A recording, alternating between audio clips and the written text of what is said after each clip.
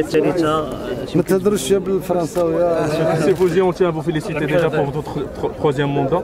Ouais. On est fiers de votre travail. Ça fait une fierté pour le continent. Ouais. Monsieur Fouzi, C'est c'est une fierté pour le Maroc. Écoutez, moi, en tout cas, euh, je vous remercie.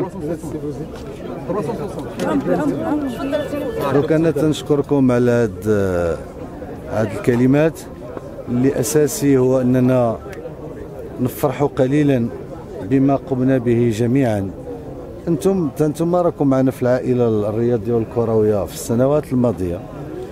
وقلت نفرحوا قليلا لوقت قليل ولكن لازم نتجندوا وبأكثر قوة وأكثر التحام باش نواجهوا التحديات المقبلة. وأنتم هاد التحديات راك شتيو الملامح نتاعها خلال الأشهر الماضية وكانت كتهم ماشي شخص أو لا مجموعة تتهم يعني موقع المغرب الطبيعي داخل المنظومة الكروية الدولية. وبالإضافة لهذا التحدي المؤسساتي الدولي لازم نرفعوا التحدي نتاع التدبير المؤسساتي للانديه وللمنظومه الكروية وذلك عبر التفعيل في الأسابيع المقبلة مع انطلاقة الموسم للشركات الرياضية اللي خلقناها جميعا.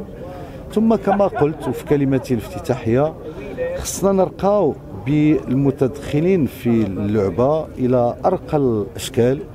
خصنا نوفروا الأجواء اللي يولي عندنا آه، يعني تحكيم في مستوى رائع منافسة رياضية شريفة على كل المستويات. وكما قلت خدينا الوقت باش نهيكلوا هاد المجالات.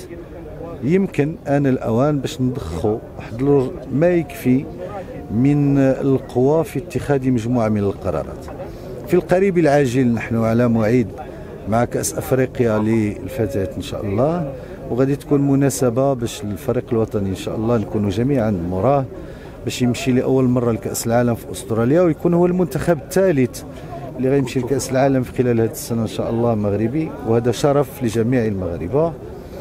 وغادي يكون عندنا أيضا تحدي اننا نوضعوا وناخذوا القرارات اللازمه لوضع المنتخب الوطني الأول باش يكون في احسن الظروف للوصول إلى قطر ويكون عند حسن الانتظارات نتاع الجمهور المغربي سي في الكلمة ديالك بخصوص الناخب الوطني المغربيه في خلال الجمع ان غادي على المنتخب الوطني واش هذا تلميح لرحيل بيضاء لوزيد خاصه ان مطلب ان رحيله مطلب جماهيري القناعة نتاعي أولا قلت بأنني أتتبع أحوال الفريق الوطني وهذا دوري ومن مسؤوليتي عن قرب وفي جميع مكوناته سواء اللاعبين سواء الأطر التقنية ولا الغير ذلك.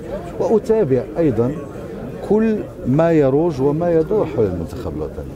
طمأنت الجماهير المغربية على أن كل القرارات اللازمة سيتم اتخاذها حين وضوح الرؤية. وحين حضور كل العناصر الم- المؤثرة في القرار في الأيام والأوقات المقبلة الهدف واحد هو أننا نفرح جميعا بمنتخبنا الوطني في قطر. شكرا.